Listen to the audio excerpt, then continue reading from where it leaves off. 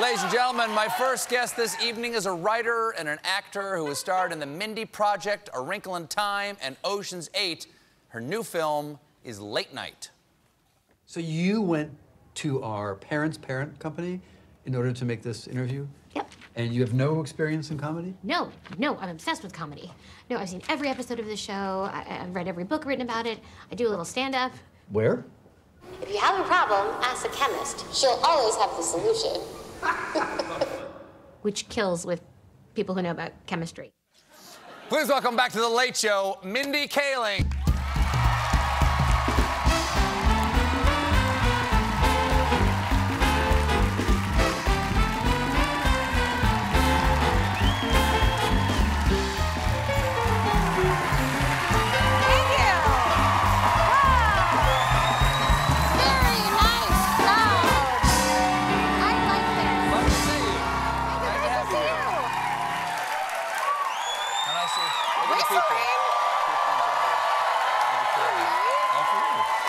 For you. Great crowd today. Fantastic. I did not get that kind of entrance. And You not, got that kind of not just because they applauded for me. I can sense they're cool and smart people.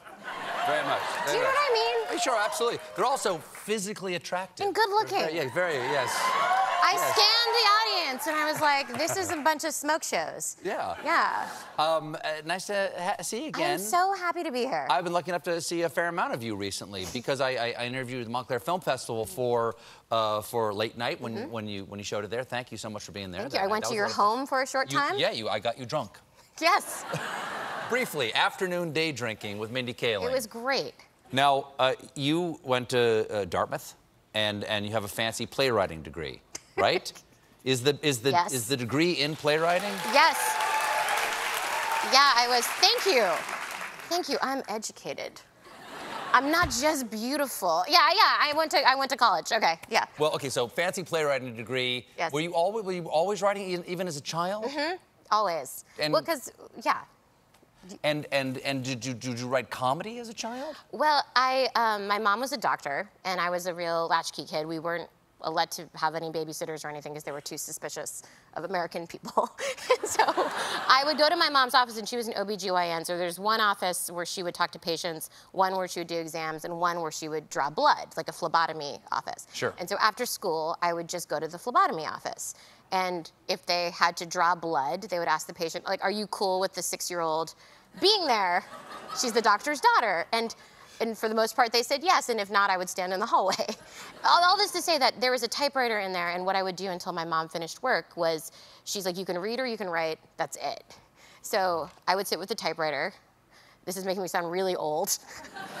I'd sit with the typewriter, and I would just like write little plays. So, And and be adorable doing it because this is oh no. this is the look back then. Oh This is no. the look. No, I'm horrible. It's fantastic. Those glasses are coming back. But they, those are hip glasses. They are hip glasses. Yeah. This is I just want to bite those cheeks. Oh. How old are, how old are you here? Uh, I think I'm five there. Five.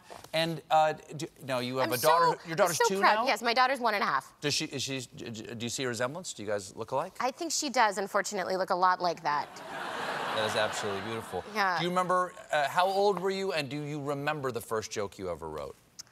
Well, um, when I was around six or seven, and I was again, I was working. I would be after school. I would write these little one-act plays, like one-page plays, and then between my mom's patients, I would run over to her office and be like, "Read this," and she is, you know.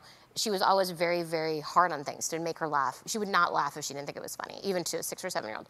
And so I wrote a play about a haunted house where um, a mummy, a witch, and a Dracula, a vampire, lived lived lived and uh, lived together in a haunted house. And the witch thought that the house was was um, kind of run down, and she said to the mummy and, and the Dracula, uh, "How much are we paying in mortgage on this haunted house?"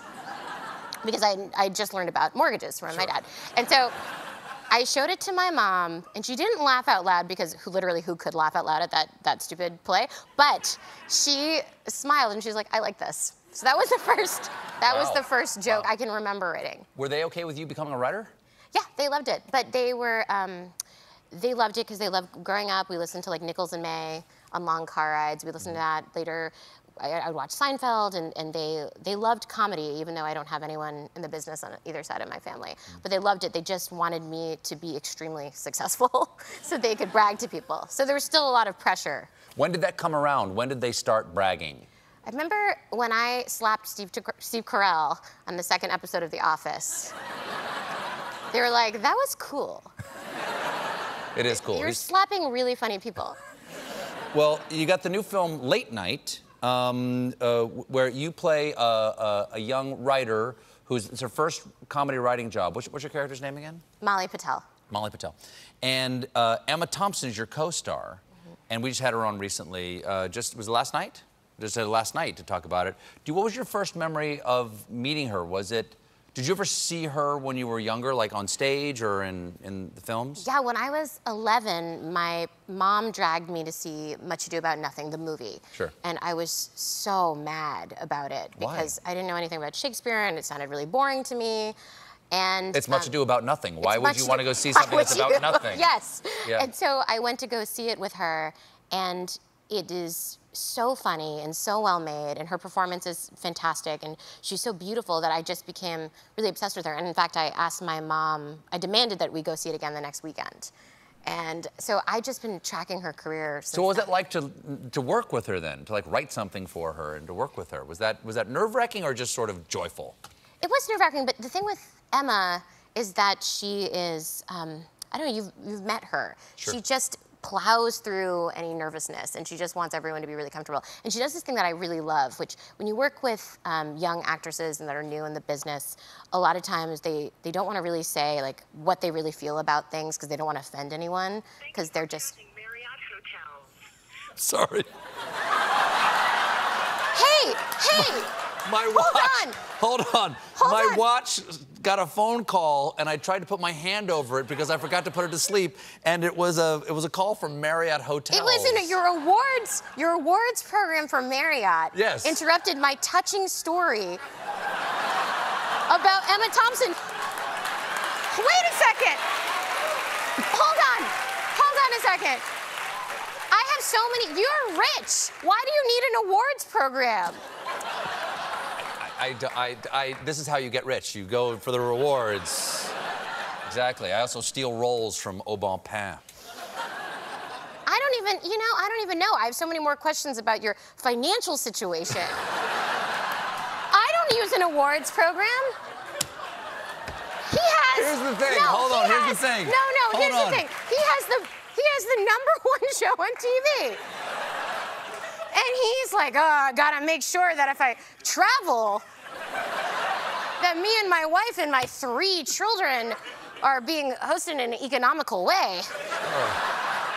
You get put up everywhere. Sure, sure, but we can upgrade.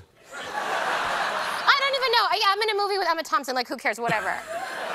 like, I put my hand over thinking, I know that if you put your hand over it, it just tells it to go away because I forgot oh, to put it on sleep really before the subtle. show. really subtle. Continue. I tried. I was trying. I was trying. Can we play that back? Can we play back the moment when I was trying to do that? I'm so sorry. Please accept my apology. It's fine. I was trying to do this so it would just stop, and I thought, Okay. oh, damn, did I just answer the phone on my wrist? And then I thought, well, I'll know in a moment if they start talking. You know, you know when this ends, he's gonna be like scrambling, like, ah, I hope I still got that reward. I hope I didn't delete that.